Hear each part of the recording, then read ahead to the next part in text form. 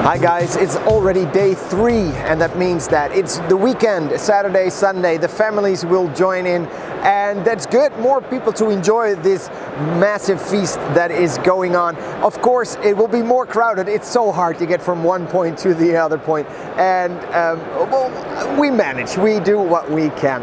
If you have any requests, this is the last day. Uh, if you put the comments in really early after I've put this up, I might be able to, uh, to check out what you, what you need.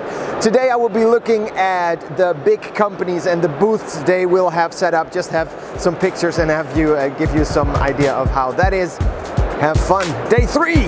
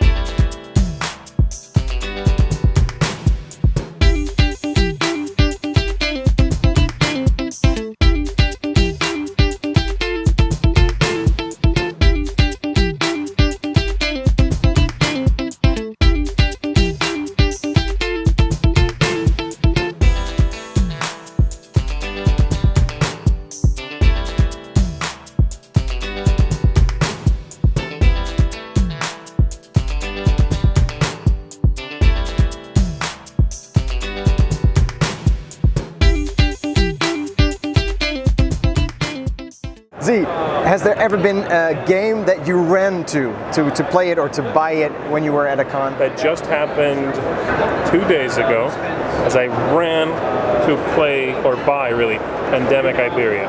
Oh, cool. Limited edition, right? Yeah, true. It's been this big buzz. It's not going to be available Yeah. very soon. So yes, myself and Eric Summerer actually, who I think is a closet fan of that game as big as me, ran over there. Oh, cool. and bought a copy right away. Thankfully, they had some still, so I was very happy. I, I...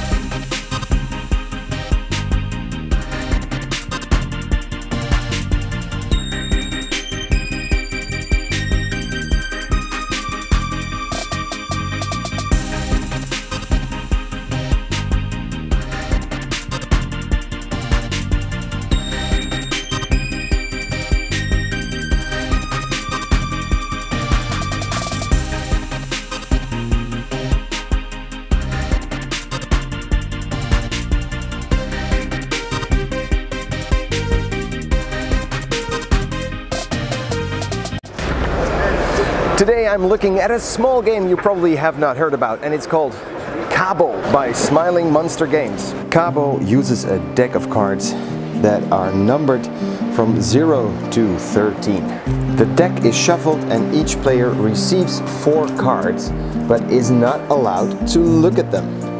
You are only allowed to look at two of those cards.